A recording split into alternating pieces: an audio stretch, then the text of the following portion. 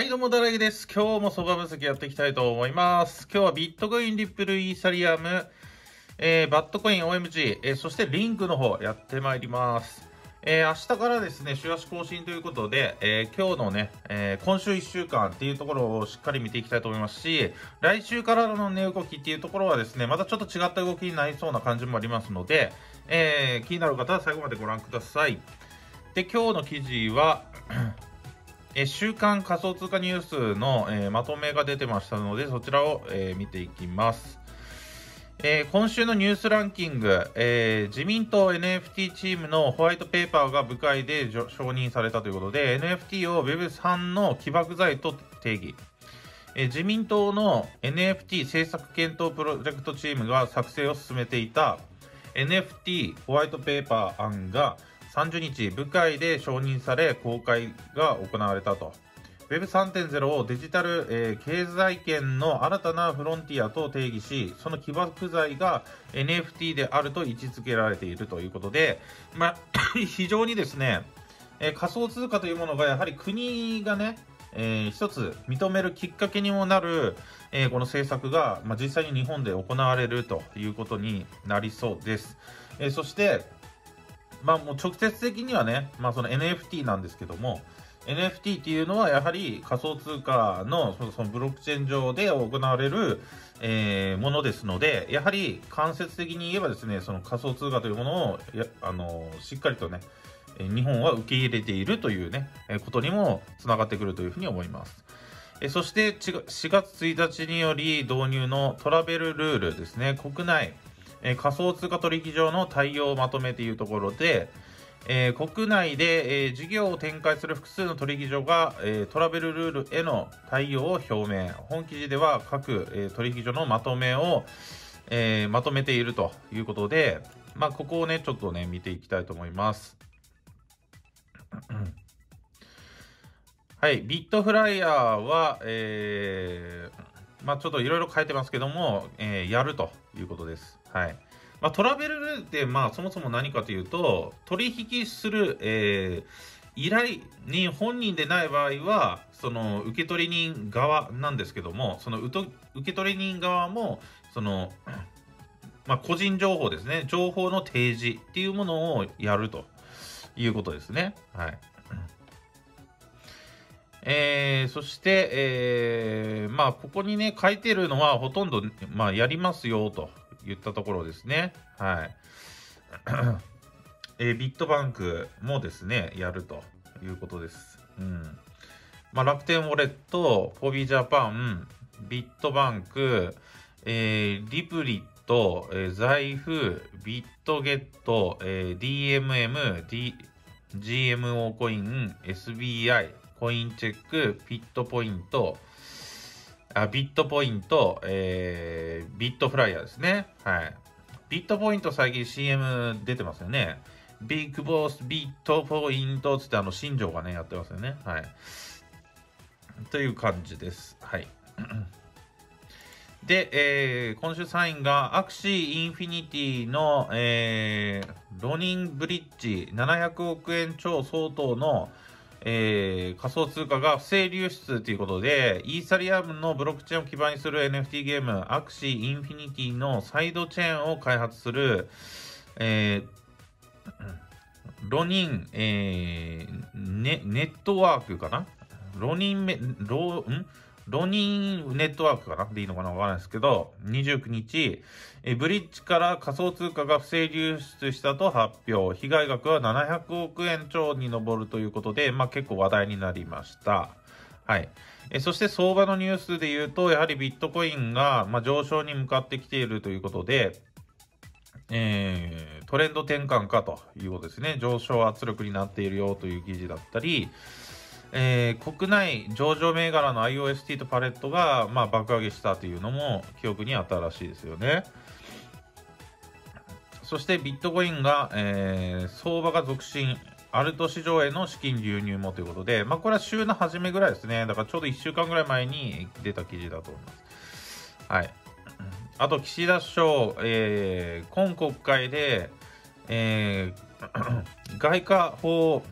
改正の準備へということで、仮想通貨による制裁回避の防止を強化という記事ですね。えそして Web3.0 開国へというね、DeFi 協会と DCCC が、えステーブルコインで提携、え提言ということだったり、まあそんな感じですね。うん。まあ大きなニュース まあ日本人からするとやはり大きなニュースとしましては、まあ NFT の発足ですよね。この、うん。経済圏で新たなフロンティアと定義し、それを起爆剤とするということで、本格的に自民党が始めているという点が、まあ、ものすごくね、印象に残ったかなと思います。はい。ということで、えー、昨日ね、えー、動画をお休みしておりましたので、まあ、昨日からの値動きっていうところなんですけども、まあ、一時ね、どちらかというと、えー先週1週間ですね、あ、先週じゃない、今週1週間は少し、えー、調整相場というかね、少し落ちてきているという形になっております。で、明日週足更新なんですけども、まずビットコイン、週足から見ていくんですが、えー、陽線続きで来てて、大陽線で終えたんですけども、今週が少し陰線に変わっているという点から見ると、えー、来週ですね、もう一段階下がってくるのかっていうような形になってくると思います。えー、ただし、これがですね、今日一晩でぐぐぐと買われてですね、えー、572万円付近ぐらいからまたさらに少し上に行くと、えー、陽線で終わることになりますので、もう一段階ね、また上を目指すという展開になりますので、まあ、今日の一晩の値動きと明日の週足確定の部分っていうのは非常に見といた方がいいと思います。まあ、それによって結構ね、動きの幅というものも変わってくるというふうに思いますし、えー、そしてですね、まあ、4月はですね、どちらかというと上げると思うんですね。はい。えー、だから来週、来週上げるのか、来週一旦もう一段階下げてから、再来週ぐらいから上げるのか、えー、そんな感じでね、僕はね、見ております。で、えー、細かく見ていきますと、先ほど言ったこの上値の部分が596万円のこのラインですけども、えー、このね、近場で見ると、やっぱやはりこの三角持ち合いですね。はい。短期的にはこの三角持ち合いを形成していると思ってください。えー、センター部分っていうのが4月の4日の12時ですので、えー、明日の昼ぐらいまでには決着がつくよねというところです。一旦上を目指せば、えー、最高値、もう一度ね、ここ試す展開が来ると。えー、で、下げてくるのであれば、直近の最安値ですね、えー、この部分で、まあ、反発するか否かというところになってくると。えー、いうふうに思いますので、まあ、しっかりこの辺はね、えー、先を追って、えー、見ていきたいところだというふうに思っております。えー、今から入れていくかというとですね、今調整して、まあ、少し反発して横横ですので、えー、今ちょっと中途半端なところになります。で、ちょ、で、直近のね、すぐ上の方には抵抗体がありますので、レジスタンスする場所がね、ありますので、まあ一応、今のところはね、えー、様子見でいいのかなと思います。しっかりここをね、試してもらって、一旦落ちるのかというのを確認したいし、確認してからでも遅くないし、で、今から落ちてきたとしても、え、ここですね。ネックライン、えー、542万円付近のこのネックライン、えー、ここを割ってくると、このダブルトップが効いて落ちてきたという風になりますので、一旦ストーンと落ちる可能性も出てきますので、まあ、ちょっと手をつけずに、まあ、1週間、週足、1週間じゃない、明日のね、週足更新というところも、えー、しっかり確認してからで遅くないかなというところです。で、今後ですね、まあ、4月はですね、どちらかというと上げてくると思いますし、RSI 見てもね、しっかりね、この買われすぎ水準まで来てからの、しっかりね、ここタッチ寸前ぐらいまでちゃんと落としてからの今、上がってきてますよね。えー、ですので、まあ、そこはね、上手な感じでね、えー、押し目も作りつつ上げてきているという点を考えると、まあ、いい形でもあるかなと、うん、思います。で、どうしてもね、入れていきたいなっていう方は、横軸で見ればいいと思います。えー、今だと、この543万円、ここを今玉入れて、落ちてきて、ここでも玉を入れると。えー、ここで反発するのであれば、持ち続けるんですが、ここ一旦下抜けるとすぐ手放すっていう形で、まあ、こんだけのね、えー、損切りを許容できる方は入っていってもいいんですが、先ほども言った通り、抵抗体がね、ちょっと上にありますよね、この辺。この抵抗体と、このね、えー、損切り、これ比較したらね、まあ、うん、4対6ぐらいなんですね。まあ、約半々ぐらいですよね。その、利益の幅とリスクの幅っていうのが。うん、って考えると急ぐ必要がないと僕的にはね言ったんですけども、まあ、どうしても買いたい方はこういった戦法で行くのが無難かなというところですはいじゃあ続きましてリップルですはいリップルも一応ですね抵抗体上の方に行くとやはりこの116円ですねここはねもうまあリップル市場かなりね効かせてるラインですので、ここを抜けるかっていうところはまず一つ念頭に置いとかなくちゃいけないと。そして、直近の短期的にね、見たら、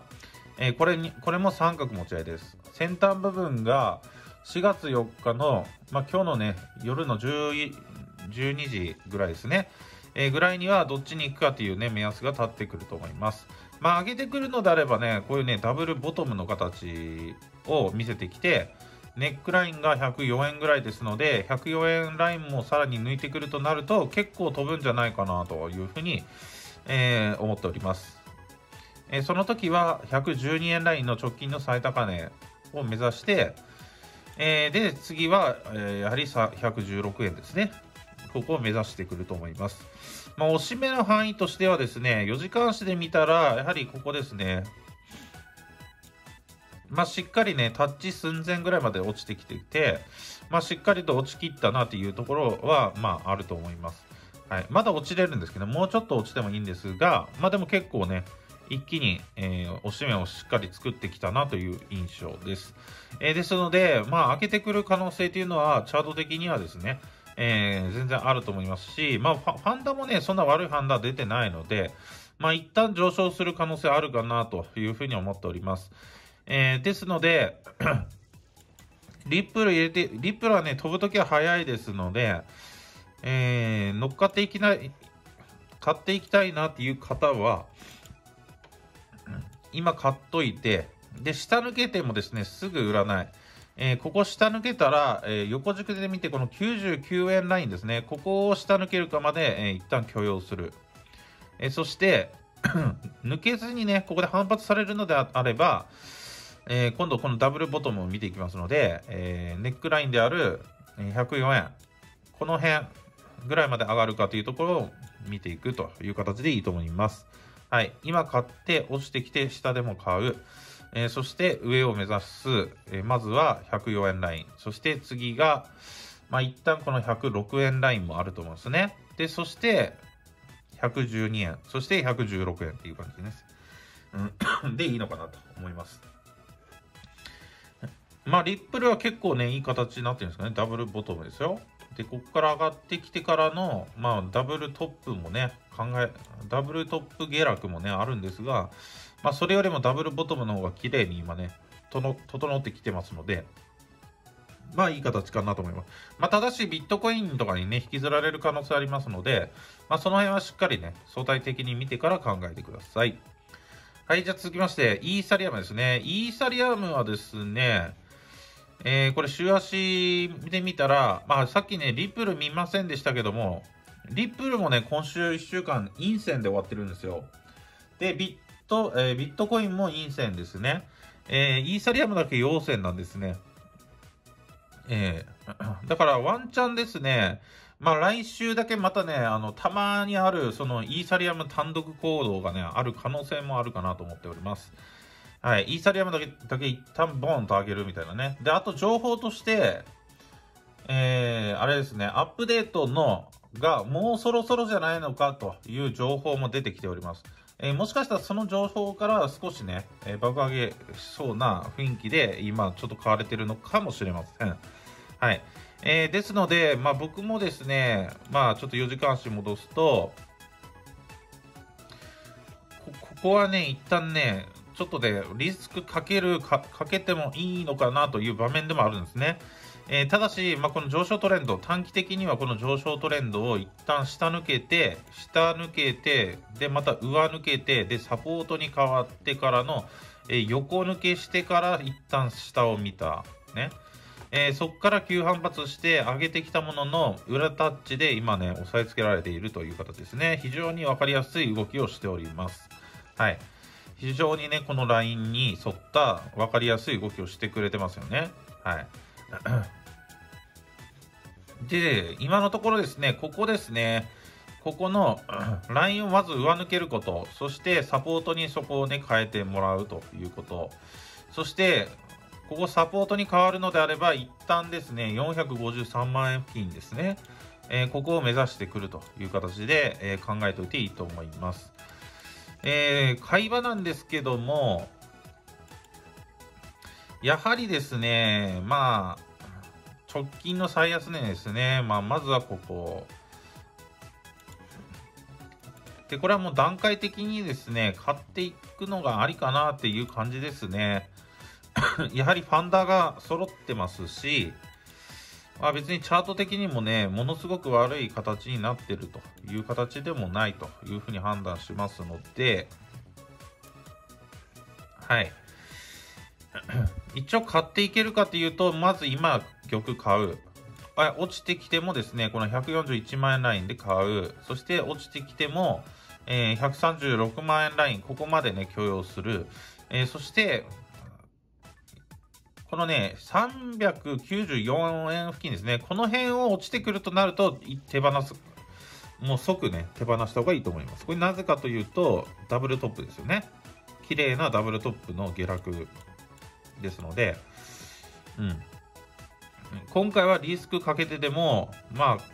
買っていきたいところなんですけども、さすがにさすがに394万円のところでは手放すという、えー、戦略でいいのかなというふうに思います。まあ、逆に下げてくれたらちょっとラッキーかなと思います。うん。一応ここのね、ライン、上昇トレンドは、えー、効いてるんですよね。効いてるんですけども、このね、ちょっと上値がね、苦しそうですよね。一回落ちてからというものを急反発したんですが、ちょっとね、上がね、息苦しそうに見えますので、一旦ね、深呼吸するために、下を見て、買いをね、えー、底集めしてから上がってくるみたいなね、そういう展開を取っていくというふうに、えー、思っております。はい。じゃあ続きまして、えー、バットコインですね。はい。バットコインは、えー、一旦ですね、結構上げてきたんですけど、まあ、この120円ラインですね。ここに上値を押されて、今ちょっと調整段階という形です。えー、ここ、上昇トレンドをこうやってね、引けると思います。で、大きくね、上髭つけて、まあ、陰線続いてきてるんですが、まあ、とにもかくにもね、バットコインの場合はこの120円ラインっていうところがまあ非常に大事で、で、今サポートに変わろうとしてるのがこの100、えー、113円ラインですね。ここ。はい。まあ、要は、ここでつけたこのトップの場所ですね。ここを下抜けるかっていう勝負です。で、今ちょっとね、えー、下髭だけつけて、少しだけ下げてまし下げてきました。えここで買いが入らないと、一旦下を見るというふうにね、判断します。はい。だからもう今ちょうどね、正念場のとこですね、第1段階目の、え、サポートされるラインに今も差し迫ったので、え、ここをさらにね、下髭だけじゃなくて、えー、実体線レベルで落ちてくるとなると、え次は108円ぐらいまで落ちる可能性。で、ここも落ちてくるとなるとですね、うん、やはり直近の最安値ですね。まあ、101円ライン。だこの上昇波は、まあ、全戻しぐらいのね、可能性っていうのが出てくると思います。えー、まあ、ただ一旦はですね、買われる可能性あるかなと思っていて、まあ、今ちょっとか、ね、下髭つけて買われてきてますので、まあ、これがぐぐぐと買われて、サポート効いてるよってなると、えー、120円ラインにもう一度挑戦するという形になりますので、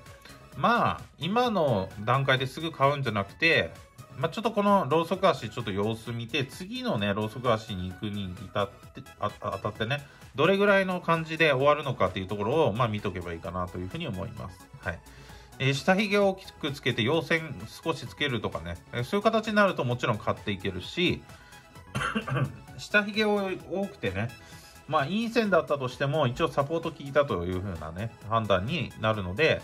え次の陽線が、まあ、陽線で上がっていくのかというところを確認して、まあ、買っていける。で、横横するのであれば、まあ、地盤固めしているということで、まあ、買っていっていける。うん、うん。まあ、とにかく、この113円ラインですね、ここでね、買い支えられるかというところを、え注視して見とけばいいというふうに思います。はい。続きまして、OMG ですね。はい。OMG も一応ですね、上昇トレンドですね、こういう風にあるんですが、まあ、角度をね、結構高めながらのね、上昇トレンド。こういう風にね、角度を結構 上げ、上げながらのね、上昇が続いております。えー、そんな中、上値を重くしたラインっていうのが この700、えー、60、まあ、770円ぐらいですかね、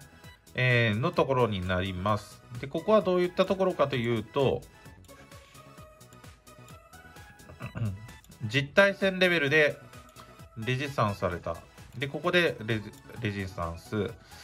実体線レベルでレジスタンスっていうふうに、まあちょっと起点としてはですね、結構ね、えー、されている場所ですよね。で考えると、今のところっていうのがですね、ちょっと横横しちゃってるわけですよ。えー、一旦見るべきところっていうのは、もう一度ね、上を目指すかっていうところはもちろんなんですが、下ですよね、買い場ですよね。まあ、この上昇トレンド、加減タッチぐらいで、まあ、反発するのであれば、まあ、ここで実体線レベルでね、残してきたら、ま、買っていく。で、この反発を目指していく。でいいのかなと思います。もうこれぐらいですかね。OMG に関しては、まあ、今買っとくっていうのもいいんですよ、別に。ただ、うん、無理やり今買う必要性は、本当ね、理由としては見つからないかなと思っていて、まあ、落ちてきて、おしめ作ったら、一旦買ってもいいかなっていうぐらいですね。はい。で、一応この三角部、えー、まあ、このね、短期的に続いているこの上昇トレンドの三角、えー、持ち合いですね。まあ、アセトラなんですけど、えー、が、4月の9日ですね、えー、ぐらいまで続くので、まあ、そこまで横横する可能性ももちろんあるのかなというふうに思います。えー、週足ね、更新でね、どうなるかというところも大事なんですが、まあ、一応ここをね、どっちかに抜けたら、まあ、入りやすいんですし、入りやすいか、まあ、おしめを狙っていくか分かりやすいんですが、まあ、一応短期的に考えたら、この上昇トレンドの加減タッチで買っていく。まあ、これでやって、これをね、ちょこまかとやっとけばいいのかなというふうに思います。うん。まあ、多分先にね、まあ、ビットコインもしくはイーサリアムが上げてくると思うんですね。うん。で、ちょっと遅れて、まあ、一緒に上がりはするんだけども、本格的に上げるのはまたちょっとね、ラグを、ラグというか、まあ、時間を置いて上がってくるみたいな展開になるんじゃないかなと思うので、まあ、急ぐ必要はないというふうに思います。はい。じゃあ続きまして、リンクですね。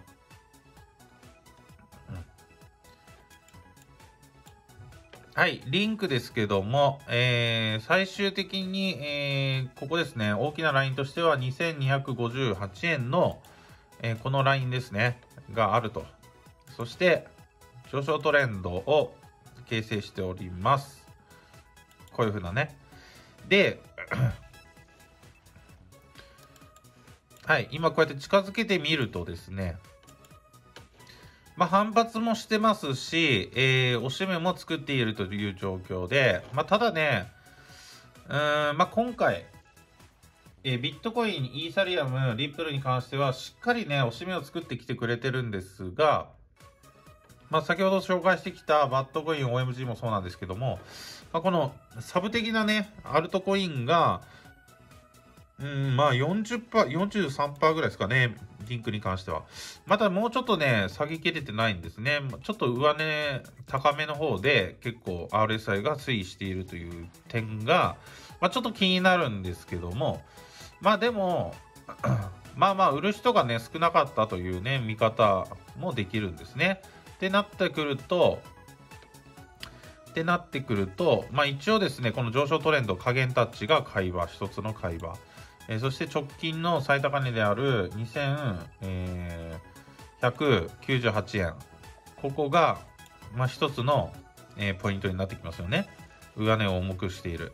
そしてすぐ上にある2249円ということですので、まあ今からね、ちょくちょくと、え、買いを入れていって、えー、買い支えとく。そして、上値をね、こう切り上げた時にですね、サポートでもう一玉買うぐらいの気持ちでいいのかなという感じですかね。うん。まあ、とにかくここを抜けないことにはですね、最高値目指していけませんので、はい。ここをまず抜けてもらいたいというところですね。うん。で、来週1週間はですね、まあ、もちろん調整のね、1週間になる可能性はあるかなと思っていて、まあ、その時はこの上昇トレンドちょっと割ってくるような展開あるかもしれませんけども、まあ、ここですね、とにかくこの1985円、ここで買い支えられるかというところが、まあ、見どころかなと思います。えここ落ちてくるとなると、さすがにダブルトップになっちゃいますし、ダブルトップ下げになってしまいますので、かなり悲観だというふうに思います。ここで買い支えられるなら、一応ね、大きく見てこの横横しているという見方になりますので、えー、そこで見といた方がいいと思います。まあ、この上昇トレンドは割ってくることになるんですが、まあ、ダブルトップは効かず、えー、どちらかというと、ダブルボトムを形成してからの上げですよね。ダブルトップ形成してるんですが、えー、ネックラインを割らず、今度はダブルボトムですね、の上げ。これを見ていくということでいいというふうに思います。はい。えー、まあ、今はね、とにかく大きな上値があって、でそこ、上値っていうか、まあ、レジスタンスラインがあって、そこの下で、まあ今はね、えー、戦闘態勢を整えているみたいなね、えー、そんな状況に、まあ結構あるというふうに思っております。えー、で、そこを抜いてくると、さすがにですね、えー、買いが集まってくるというふうに思いますし、えー、一旦ね、えー、本当最高値を目指していくような動きが来るかなというふうに思います。えー、ですので、来週1週間は、まあ、ちょっと今、陰線でね、主要コインがお、えー、推移しておりますので、まあ、久々のね、ちょっと陰線をつけるための、えー、おしめ作り っていうのをする週になって、再来週から一旦また開けていくみたいなね、可能性もありますし、まあ、よくあるのはですね、上げる前に一回陰線を見せてからの上昇ですね。まあ、例えばこのリンクで見てもね、あるんですが、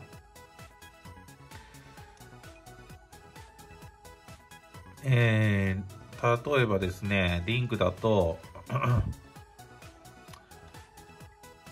上げる前ですね。上げる前に、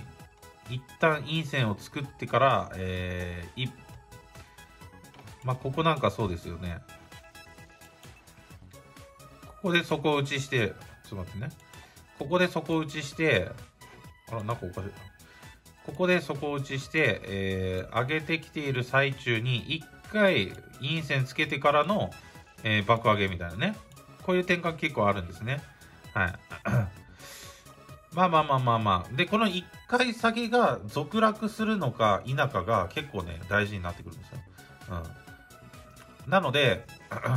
今週が、まあ、陰線で終えて、来週が続落になるのか、えー、一旦陽線作る作るのかなんですね。陽線作ったら、今週1週間で、押し目はしっかりできましたような合図だと思ってください。だからその辺がね、しっかあのどう読み取るかによって、えー、いろんな心理がね、変わってくると思いますので、しっかりやってもらえたらなというふうに思います。はい。じゃあ今日もね、相場分析やってみました。今日の動画が良かったと思う人は、チャンネル登録、いいねボタン、そして、えー、通知ボタンよろしくお願いします。で、僕が使っている取引所は、えー、ビットバンクとコインチェックになりますので、同じのを使いたい方は概要欄に載せておきます。はい。ということで今日もね、ルーレットをして終わりたいというふうに思います。爆上げで終わってたんですね。はい。これ外れましたね。どっちかというと下げてきてますのでね。はい。じゃあやっていきます。ドン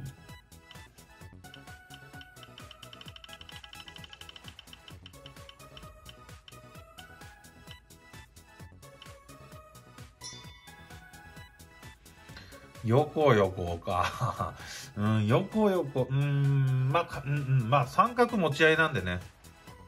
三角持ち合いなんで、なくもないって感じかな。うん。はい。ということで、今日もね、えー、これで終わりたいと思います。おつー